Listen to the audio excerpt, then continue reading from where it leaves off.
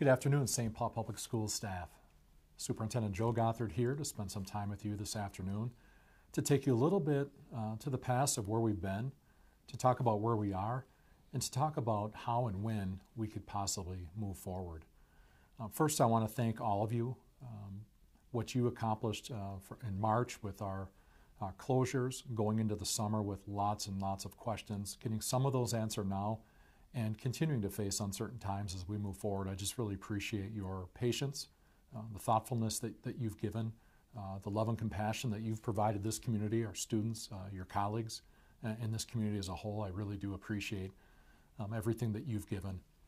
I um, want to start with in back in June, we were given guidance from the Minnesota Department of Education. And that guidance was no real surprise that we were to create different contingency models for the opening of this school year. Uh, the first was to come back to full in person learning or traditional schooling as we knew it uh, prior to March. Uh, the second was to create a hybrid schedule where we would have only some of our students in, 50% uh, of our students in at a time, and rely on distance learning for the rest of that time. And the third, of course, is full distance learning. Uh, so we uh, had anticipated that. We had begun planning far before June for those three different scenarios and really spent time this summer collaborating, gathering additional information from our community, making sure that we heard from you, make sure we heard from students and families to try to better understand how we could meet the needs in all three of those scenarios um, given other factors that would help us make our ultimate decision. As you know, the governor held a press conference along with Minnesota Department of Education Commissioner Mary Cathryn Ricker, uh, Minnesota Department of Health Commissioner Jan Malcolm um, uh, last week, and they provided final guidance and recommendations uh, based on that, uh, that plan that was given to us or the direction that was given to us in June. I can't tell you how much I appreciate them as someone who has spent the better part of the last five months following um, COVID 19 and schools and uh, the politics of it all around the country. Uh, really do appreciate the leadership that we've gotten from the, uh, the governor and the, and the, commissioners that, that I mentioned. Um, they have been collaborative with us. Uh, they have relied on our expertise and gotten feedback from our communities in, in generating what I believe is a, is a really good plan for us to use as we consider how we're going to reopen in the 2021 uh, school year. As you know, uh, following the, uh, that plan coming out, um, there was data, specific data that was generated from Ramsey County and COVID cases over a 14 day uh, cumulative case rate. Uh, and that data uh, then is tied to five different recommendations for the restrictions on the models that we are able to open under uh, this coming September. And for us, it was important data for us to consider. Um, but I have to tell you that there are many other things that we had to consider as a school community and I had to consider as a leader when the health and safety of our, our staff and our students and our community as a whole is uh, incredibly important to me. Um, so I, I, I want to let you know that uh, that I did not make that recommendation, uh, take that recommendation lightly at all in terms of using that data, but not having that be the only thing that we considered uh, when making our decision. And I in no way fault the governor or our commissioners. And in fact, I continually applaud them and, and uh, continue to be an equal partner with them in wanting to get our schools safely reopened. So I did uh, bring a recommendation to the Board of Education that we begin our school year in 100% distance learning 2.0 with support and with a commitment that we look and analyze how and when we successfully transition into our future. And it's important to, to point those words out. You know, we in June created contingent plans, plans that were set in stone for if we're given the ability, here's how we would do it. Well, now we have those three plans in hand. Uh, they're not perfect, we're still working on them, uh, but we are ready to begin assessing how can we transition uh, from distance learning into hybrid, into in-person in some way, shape, or form. Distance Learning 2.0 is our start. It's the place that we are starting at this year until we believe those other factors uh, can be uh, clearly um, answered and, and considered and, and, part of how we're going to safely uh, transition into, into less restrictive models. So I wanted to share with you the stages of return for in-person learning that we presented to the Board of Education last night. On there, there are five different colors on our dial, again, starting in distance learning, 2.0. Uh, dial number three, if you will, is hybrid learning, and five is in person learning. We intentionally left stages two and four open. There's a color there, and there's room for the dial to be there. But in terms of the descriptive analysis of what would take place in those two, we left open. And we did that for a very important reason. I did not want to at all uh, promise to you, promise to our community that on a certain day we're bringing all K through 5 back. I want us to continue to have flexibility in how we eventually bring back students, bring back staff, and bring back um, our community in a, in a hybrid, in-person uh, type model. Uh, so I wanted to be sure that we could have flexibility to do that. So what's an example? Well, we might decide that all pre-K and K come back, um, and that would be our first group to hybrid. And of course, these are all subject to, to making sure that we can agree on that and we do this work together. But I just wanted to explain for you why you might see some other models uh, from other districts and they might have it explicitly laid out. Uh, and I just did not feel like I wanted to um, uh, back us into that corner right now and, and be that explicit. So we can continue to fill that in as we go, but I wanted to give you just a general explanation of the stages to return in person. You might say, when will we know that we're going to consider those, those other models? So there's a few things I want to talk with you about today in regard to that. The first is that uh, last night at our board meeting and in, in passing that resolution, we also shared two dates with you. We shared September 25th and October 14th. Now, the importance of those two dates are they come with some natural breaks in our calendar. Uh, the first is September 25th, would give us some lead up time uh, for us to make a transition at, at following MEA break.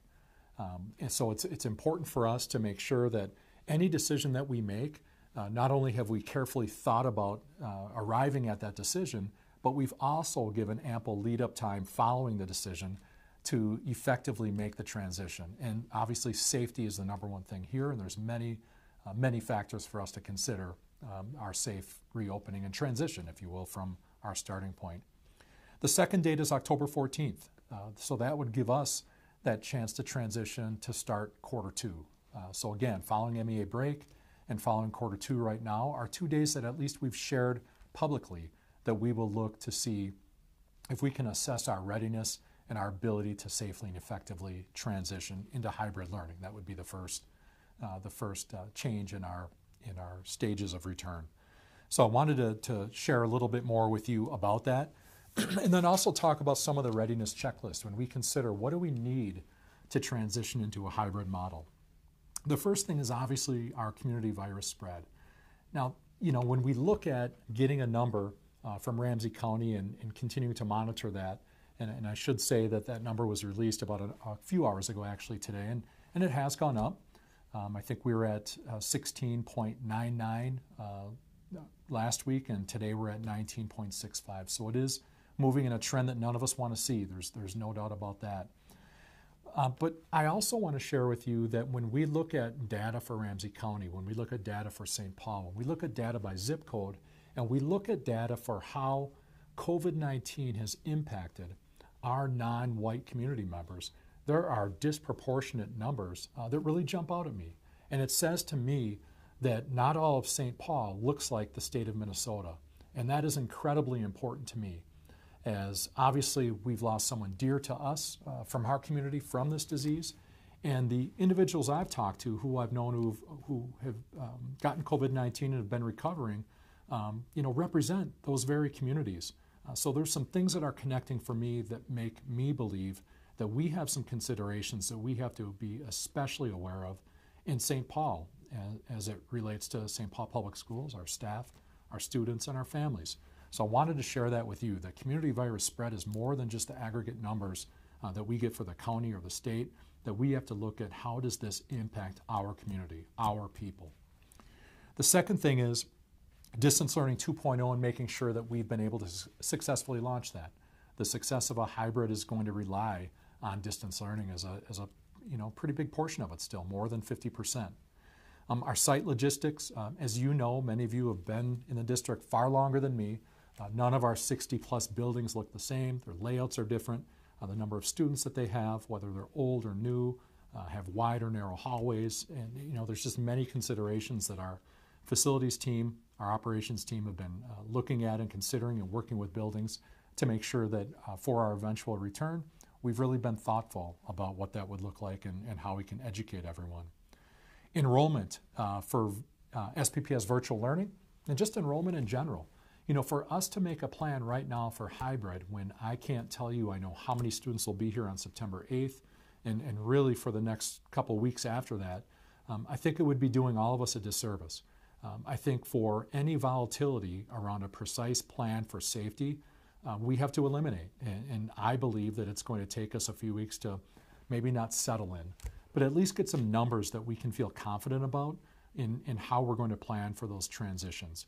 Uh, so I do think that this is a year like no other, and there may be some trends that look similar, but when you have to factor in the different safety aspects and you have to factor in some of the guidelines that we've been given, uh, this is a start like no other, and I want to make sure that we're giving the right time to do that. Um, the staffing obviously would be the next piece from enrollment to make sure that we're sufficiently staffed to meet those safety guidelines and, and make sure that we're doing that and ready to do that with our transition as well.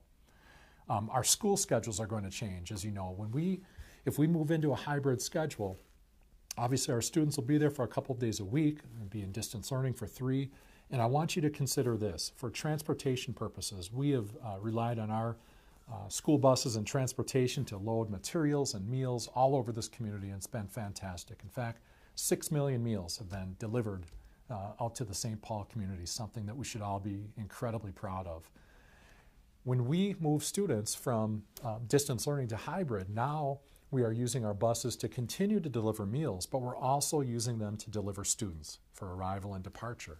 Um, so there's some uh, logistics, uh, many would say complications. There are some things for us, some barriers to remove to overcome uh, for us to do that well and make sure that, again, we're adhering to safety. Uh, there's, there's no room for errors and there's no room for uh, not being ready when it comes to the importance of safety, especially with COVID 19. It's hard enough in a regular, what I'll call normal year. Um, if anything, it's, it's obviously much, much more now, so we have to keep that in mind. And then finally, sufficient communication time. Uh, I don't want to send out a robocall on a Friday saying you're starting in hybrid on Monday. You don't want to hear that as a staff, and I know our families uh, don't want to hear that as well. So we want to make sound decisions at the right time, and we want to build in what we're calling lead up time. So we make sure that once a decision is made, that we've given proper time for us to do this effectively and do it safely and do it together. Uh, so those things are really important to us. The hybrid checklist or the transition checklist um, that's just one set of it. Um, last night, if you listened in on our board meeting, uh, you know that some of the questions we've been fielding have been what specific data are you looking at to make the decisions? I think that's a, a really important question, and it's a, it's a question that, uh, that we have to consider with all the information we're gathering and making these decisions. So I'll say this to you. We are going to create a framework so that the community and you all understand uh, what some of the things we're looking for in these stage transitions. What are some explicit narratives that explain how we're looking at it and what we're looking at, and then what data will support that. So it's, it's two stories, two different stories. One more qualitative, you know, what are we looking at, how are we doing the work, and the other is what are we relying on, what numbers are we relying on. I've shared with you the uh, cumulative case rate for the previous 14 days. There are other data that we have to look at as well. Uh, one example is if we would eventually move into, as the state has defined, K through 5 or pre-K through 5 uh, in-person learning, uh, the number of staff who we would have to hire to do that is, is astronomical uh, for us. It's a, it's a big number, perhaps in the thousands. So we've got to make sure that we think about that. When we reduce how many students we can have on any one site, we may not have room in those sites, so we would have to spread students out throughout the city, uh, through other sites, and of course, to meet those ratios, we would need the adequate staff, uh, staff to do that as well. So those are decisions that we really have to think about carefully. And as I alluded to earlier, instead of pre-K 5 all at once, it may make sense for us to stage this in different ways that are more incremental, uh, that uh, we have the ability to not only do well, but we can control a little bit more too. So just wanted to give you a little bit of a, uh, a line into that and what you might expect in terms of a readiness framework uh, that you heard us talk about last night and that we've had some discussions about already today. And we'll continue to, to work on um, getting more information out to you. so, again, just to recap before I move into a few of the questions that I've received or that have come my way. Um, I want to share with you again around the importance of September 25th and October 14th. Those are just two days right now that we've selected as kind of the latest we would want to know. We would want to let you know, let our community know that we are uh, ready for a transition on either the Monday following MEA break or to start the second quarter. Um, so those are um, important dates for that purpose, and we will be sure that we're sharing information with you as, as we go along. Now, many of you have shared uh, questions, observations, uh, thoughts, uh, and it's, it's been incredibly helpful. I, I, appreciate it very much. I engage on Twitter as much as I can, but I have to be honest with you, that's a, a whole nother full time job if you really want to do it and do it well. But it has been helpful, and it's been great for me to not only hear your perspectives, but to really hear perspectives from all around the country as it relates to what this reopening means. And it could be students, uh, families, parents, caregivers, uh, teachers, principals, superintendents. Um, I participate in, in many different uh, superintendent leadership groups from here in the metro and also with our Council of Great City Schools counterparts throughout the country. And uh, today's, I, I, will share with you, was, it, was, um, it was a hard call. Um, I'm looking at my uh, colleagues from around the country in some of the largest districts who um, are facing uh, challenges like ours and many, many times greater uh, due to the sheer size, perhaps due to the politics, perhaps due to, uh, uh, perhaps because of how they're led um, in their state in terms of their, their um, political leaders. Um, so, I just want to mention that to you that uh, none of us are alone in this. Each of us are, are facing this in our uh, public pre K 12 districts in, in many different ways. And um, I'm really proud of you and all of us in, in terms of how we've handled this and uh, the great leadership and support that we've gotten. So one of the questions is hybrid schedules, just many questions about how will we do this. You're right, it's, it's anything but normal for those of you who've been in schools um, as long as I have and, and many longer uh, in, terms of this being you know, the new schedule. So I do want to share that we've received uh, letters from both uh, SPFE and Teamsters Local 320 for us to look at the MOUs that were um, agreed upon in the spring to make sure that we can address any concerns as it relates to distance learning 2.0, hybrid, and in person. Now, I, obviously, our focus right now has to be on distance learning. That's how we're beginning on September 8th. But I want to share a commitment that I have, and I hope that everybody in our organization has, to already be thinking about what can we begin to work on now. So when and if the time comes that we're ready to make that transition, that we've already worked on some of the agreements that we would need that are necessary uh, for us to together um, come back in, in that transition plan way. So I just wanted to, to, share that with you. It's really important to me that, that right now we're working for where we want to be and, and we'll continue to do so. Will teachers be allowed in their school buildings when are we when we are in distance learning? It would be helpful for teachers to have the option to plan, record, or provide live lessons from their classrooms that is full of school materials. Uh, I can agree with you in that way. I've, i said, I believe, in an interview recently that uh, to be told you're shutting down and packing up my biology curriculum in a milk crate uh, to teach biology out of my living room, I can't imagine how difficult that would be. I, have thought about it many times. I'm sure I would have made it work, uh, but I know in my lab I could have made it better. Um, what I'll share with you about that is that we're aware of that, uh, that you're eager to get back to offices or classrooms. Um, staff representing facilities, health and wellness, and security, emergency management are working to provide a process and procedure for staff to safely access district buildings in preparation for the launch of Distance Learning 2.0. A communication including a specific process and procedure will come out shortly, will prioritize student and staff safety, and also provide a tool to request an assigned window of time uh, for staff to do this. You know, part of what we're trying to do here is, is get our buildings as clean as they've ever been and keep them that way. So this isn't something where we just want to open the doors because, you know, we believe it's the, um, you know, we're able to do it. We want to make sure that we can do it in conjunction with the plans that we have to keep our buildings as safe, orderly, and, uh, and healthy as possible as well. So we do want to somewhat regulate it, and we'll be communicating with you how we can do that in the future. And if it isn't working, we have to work together to find a way that will make it work. That, that's, that's my commitment. Will the school calendar look the same as planned, uh, teacher development days, et cetera? you know, we'll continue to address the, the needs of the calendar, and I'm going to strive for everyone in our organization to provide, uh, prioritize, excuse me, balance.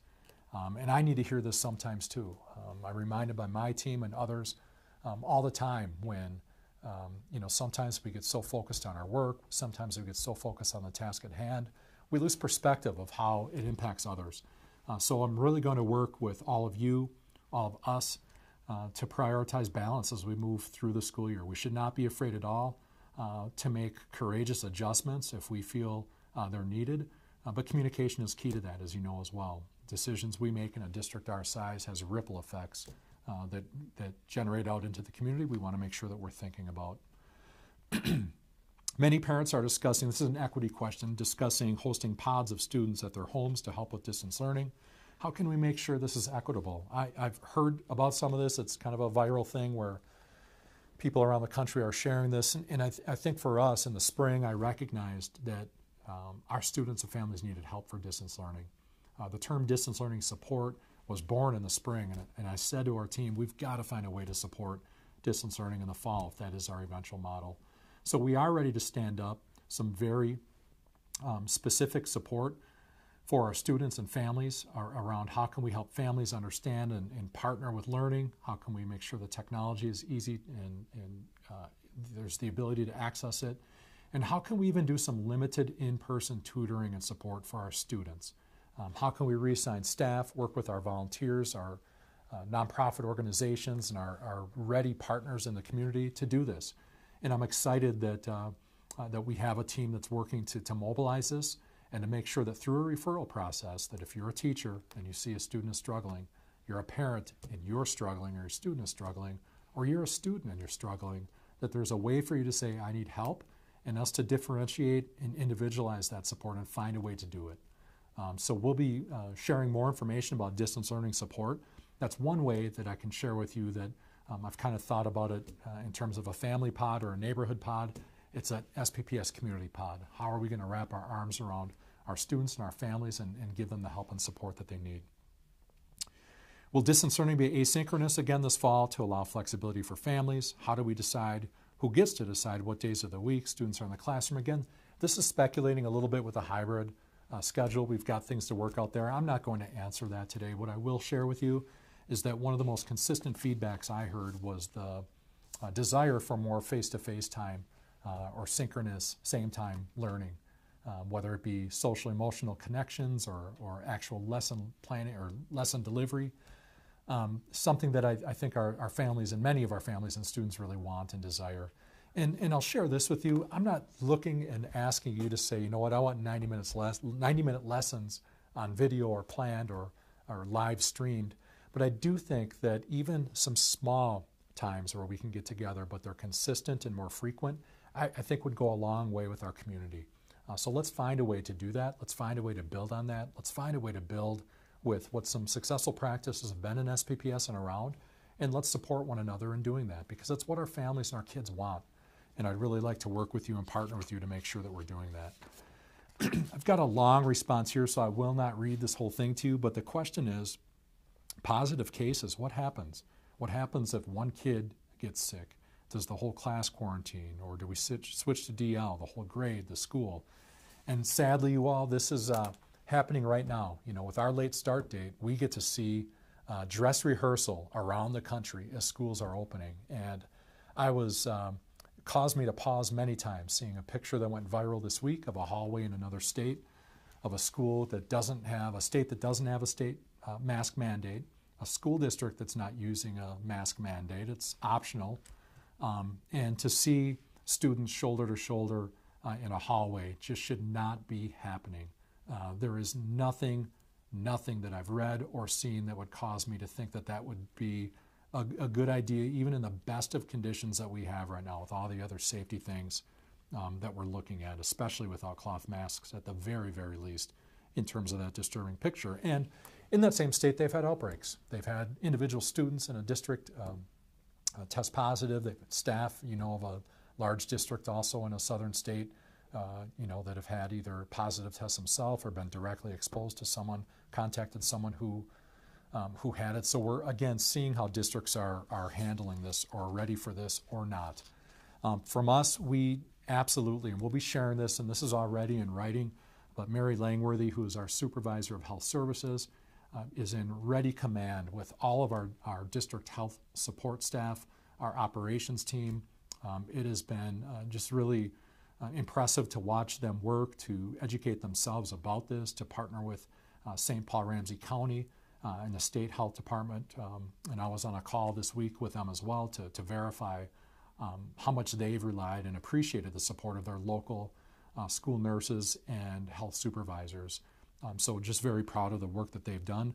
So we have a protocol that we've already had to use um, in, in terms of if we have a positive case in any of our sites, uh, that would obviously apply to any of our sites that are up and running now, Discovery Clubs, some of our um, nutrition services sites, um, uh, uh, Essential Kit Care, excuse me. Um, so that will also apply to if and when we transition into in-person learning. Any in-person contact that we have, we would follow this protocol. Uh, so we'll be sharing that with you in writing to make sure that you understand it. We'll be sharing it with our leaders, our supervisors, so you have a, a single point contact for you at your school, your work location, someone who you can rely on who either has information or knows that direct line to someone who does. And I'd love to be there for each and every one of you individually if you have information, because I definitely know who that is. But the more people we can position to have this information readily available uh, so that you can have confidence and comfort in knowing that your questions can be answered and we can get that information out quickly, it's, it's going to help all of us as well. And obviously, I want to avoid um, you know, being you know the district that has to face outbreaks. I don't want anyone to have to deal with this. Uh, the reality is, you all, until there's a until there's a vaccine and until there's national leadership that truly makes this a priority, you know, not just some kind of game, but a real priority that is life and death, that is a health situation, um, I can't confidently say, uh, you know, that we're going to be able to turn the corner on this. And it's, it's despicable and it's, it's truly sad that I've had to become a health expert and not someone who wants to champion the opening of our school year. And I'm uh, beyond disappointed. Uh, but I'm grateful for you because I know that you will make the best of all this, uh, that we will work together, that there will be a day when we move beyond this. I wish I could tell you when it will be, but that day will come. Uh, but for right now, we've got to continue to work hard and, and work well together. The last question I have today is uh, sick days and substitute teachers, if uh, that happens. There's a shortage. This, um, my team will tell you that back in the spring, before we even knew the word, well, we knew the word hybrid, but before we used it every other sentence, um, I said that this is going to become the greatest workforce issue that education has faced, certainly in my time. You know, I don't know about other times. I can't speak for generations before I was born. Um, but the shortages that we are going to face in all the services that we need are, are going to be extreme. So that does not mean that I would ever put you in a situation that if you're sick or if you have symptoms of COVID 19, uh, that you are forced to come to work. That is not what I want you to hear. What I want you to hear, the reality is that we have to be flexible, nimble, and that dial that I mentioned, because of some of the things that we could face in the future, I'd love to see it all going the right way, get us on a nice cadence of moving back to in person instruction. But we have to know there could be some setbacks too. And workforce for St. Paul Public Schools, there's 6,000 of you, is, a, is the most important part of what we do. So we have to keep that in mind and, and be realistic about that. So, of course, we'll work with all of our partners. I know bus drivers has come up, that's become a national conversation. Substitute teachers, which even on the best day is a challenge. But if it's a Friday and it's 90 degrees out and, and beautiful, sometimes it's even a, a bigger challenge as, um, as we face uh, shortages. So, we've got to make sure that we're uh, planning together, being thoughtful, thinking ahead, and contingency planning going from being um, the three models that I've recognized to now being individual circumstances within those models that we can be ready for. So I'm going to close for today. I, I, I would really like to continue doing these sessions with you. I'm um, going to work with our team to find some ways to do some live interactivity. Would like to also bring in some of my team so you can hear from them as well in some of these sessions. Uh, it's been helpful for me to share this with you and to have us get this recorded so it can be out there as a